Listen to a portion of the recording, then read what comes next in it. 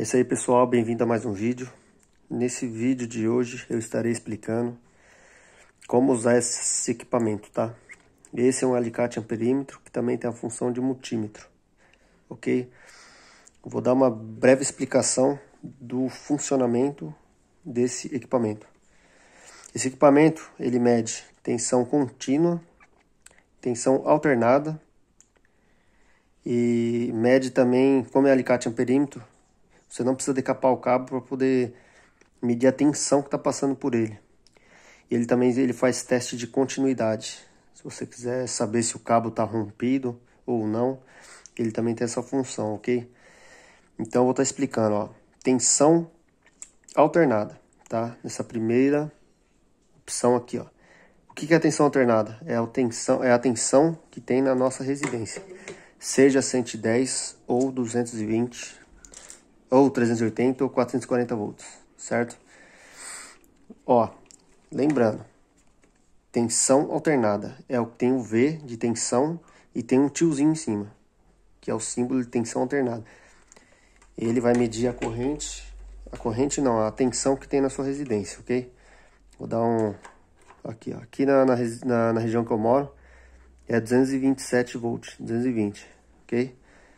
Aí tá aí, se fosse 110, ele ia ser um fase neutro. Aí ele ia estar tá medindo 127 volts, aproximadamente. E agora tensão contínua. O que é tensão contínua? É a mesma tensão que tem na, em baterias, tá? Bateria do carro, pilhas. Então, vou fazer uma breve demonstração aqui.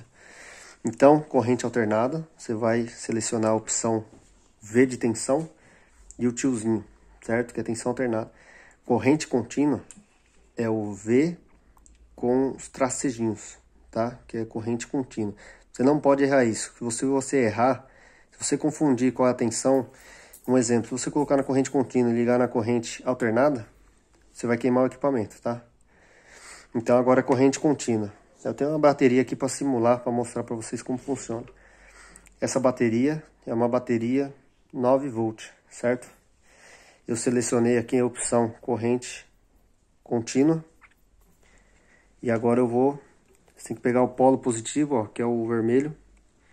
E tá aqui, ó, positivo, correr. E aqui negativo. Vai catar o positivo e o negativo e vai colocar aqui, ó. Desce lá. Aqui, ó, a tensão que tá me dando. 8, 8 volts, 8.1.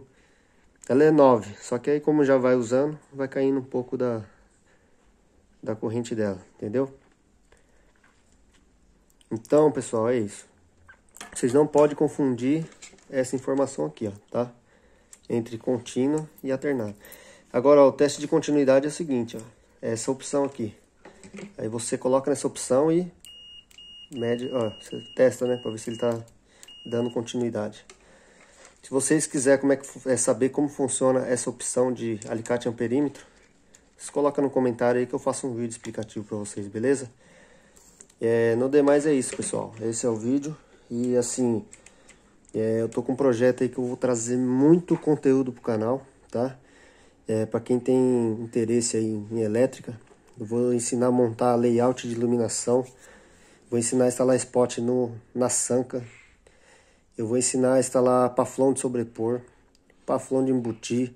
Eu vou ensinar a fazer uma sanca de isopor. Meu, tem muita coisa aí. Fica ligado aí, tá? Ative o sininho aí. Quem não é inscrito, se inscreva. Obrigado aí pela participação. Um abraço.